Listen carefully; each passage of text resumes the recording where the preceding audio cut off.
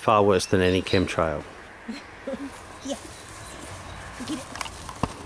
Thanks, hon.